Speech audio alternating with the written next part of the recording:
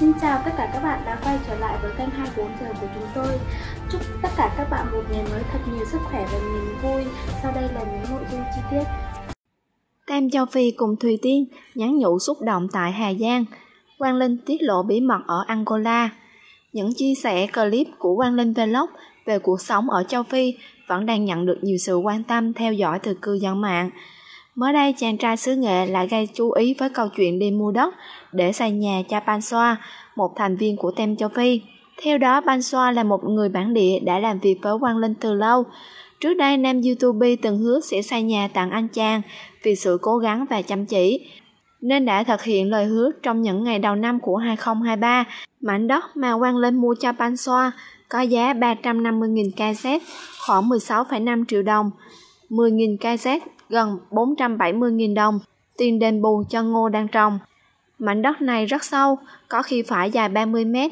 Cứ tính trong khu vực có ngô là đất của Ban Xoa, đất ở bên này cũng không giống như ở Việt Nam, ra hình vuông, chữ nhật, tam giác hay đo đạc thông số trên giấy tờ, mà chỉ nhìn bằng mắt thường thôi. Đây là đất của tôi thì là của tôi chứ không có giấy tờ. Bên này không cần đo mét vuông đâu, cứ thấy to với hợp lý là mua thôi, Quang Linh nói. Tuy nhiên, vì số giao dịch mua bán nên Quang Linh đã mời trưởng bản đến xác minh quyền sở hữu của chủ đất và làm thêm một số giấy tờ chuyển nhượng. Ngoài trưởng thôn có sự xuất hiện của chàng sớm để khẳng định không có sự tranh chấp đất. Xác minh xong xuôi, Quang Linh đưa tiền cho Ban Xoa để anh chàng tự giao dịch với chủ đất. Bây giờ chuyện liên quan đến đất đai, tiền nông của mấy anh phải để mấy anh giải quyết, chứ mình không thể đứng ra mãi được. Nên cứ vậy thì mấy anh sẽ không có kinh nghiệm hay học hỏi được. Sau này mình cũng không trực tiếp làm nữa mà chỉ để hỗ trợ mọi người tự xử lý.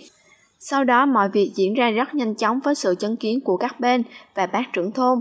Nam YouTube giải thích rằng vì mọi người ở đây đã quen thuộc với nhau nên không có gì khó khăn cả. Bên cạnh những lời chúc mừng hay cảm ơn Quang Linh, nhiều người còn bày tỏ sự thích thú vì khác biệt giữa mua đất bán ở Việt Nam và Angola. Trong khi đó, Tem Châu Phi tại Việt Nam cũng đã bắt tay cùng Thùy Tiên khởi động hành trình thiện nguyện tại Hà Giang. Dù là trước, trong hay sau nhiệm kỳ, Nguyễn Thúc Thùy Tiên vẫn là cái tên nhận được sự yêu mến của công chúng. Thời gian gần đây, bên cạnh các hoạt động giải trí, nàng hậu 9X tích cực tham gia thiện nguyện, có những đóng góp thiết thực cho cộng đồng. Mới đây nhất, Thùy Tiên cùng ekip và anh em Châu Phi đã ghé thăm điểm trường Xéo Hồ, Hà Giang. Chuyến đi của Hoa hậu Thùy Tiên và Tem Châu Phi đã kéo dài 12 tiếng để lên tới nơi. Trong chuyến đi này, Thùy Tiên cùng ekip đến khảo sát để xây dựng điểm trường thôn Xéo Hồ, xã Sơn Vĩ, huyện Mèo Vạc, tỉnh Hà Giang. Bên cạnh việc khảo sát, Thùy Tiên cũng đến đây với mục đích thăm hỏi thầy cô, các em mầm non, tiểu học để trao những phần quà và lì xì Tết. Với sứ mệnh thơm cho mình, đẹp cho đời, chúng mình hy vọng ngôi trường sẽ sớm hoàn thành và thu hút nhiều trẻ em đến học hơn nữa, đặc biệt là sẽ có nhiều ngôi trường mới được xây dựng hơn nữa. Tuy đã kết thúc hết nhiệm kỳ, nhưng với Thùy Tiên, trách nhiệm và sứ mệnh của một hoa hậu vẫn sẽ được tiếp tục phát triển. Sự kết hợp giữa nàng hậu và tem Quang Linh vẫn nhận được sự ủng hộ nhiệt tình hơn nữa từ khán giả bởi cả hai đều có lý tưởng, mục đích sống tốt đẹp.